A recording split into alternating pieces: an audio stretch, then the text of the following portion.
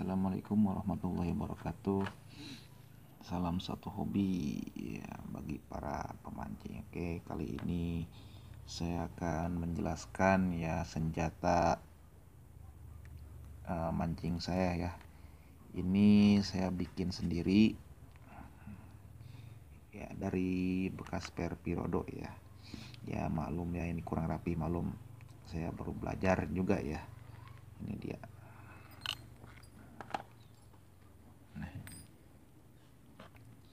ini dia.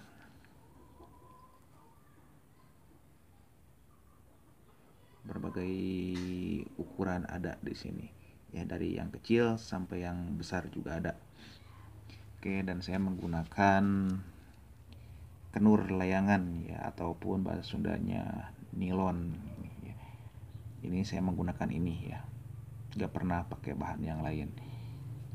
Yang ini aja biasanya paling banyak saya kalau ukuran yang gede ini 4 lapis ya.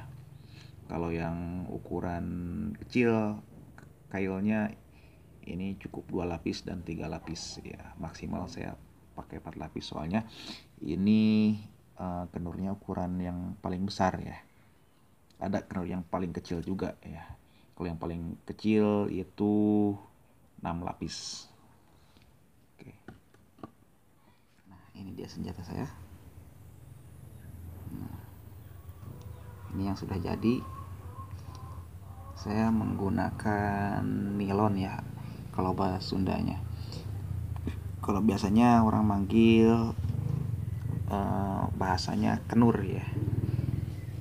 Kalau yang ini ya kalau diperintil-perintil sama belut ataupun dilipat mudah diluruskan lagi. Contohnya kayak gini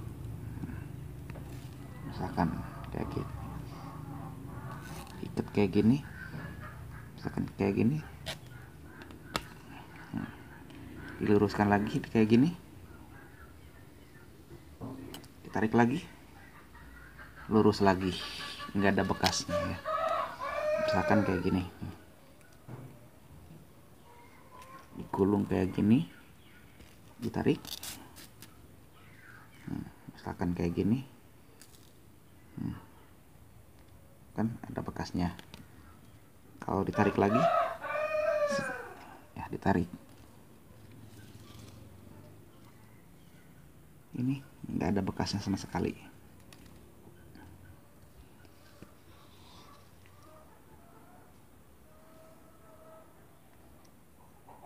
Jadi mudah dirawat mudah diurus ya.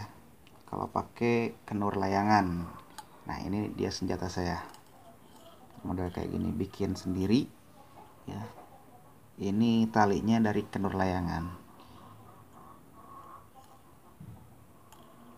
Oke dari segi ini saya jarang beli ya. Dari kailnya nilonnya cukup beli nilon aja segini. Ataupun kenur ya.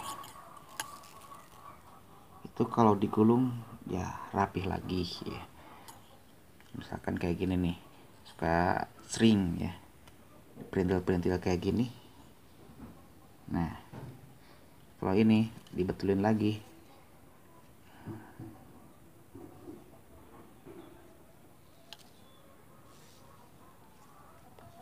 Lihat lurus lagi rapih lagi. Oke. Terima kasih bagi yang sudah subscribe. Ya maaf bukan saya menggurui ya para senior ya. Cuman ya berbagi ilmu, berbagi pengalaman. Siapa tahu ada yang tanda tanya oh senjata buat mancingnya kailnya seperti apa. Nah, ini dia seperti ah maksudnya ala seroblut ya maaf ya ngomongnya belepotan ya malum belum terbiasa. Oke salam satu hobi penyonyot mantap. Wassalamualaikum warahmatullahi wabarakatuh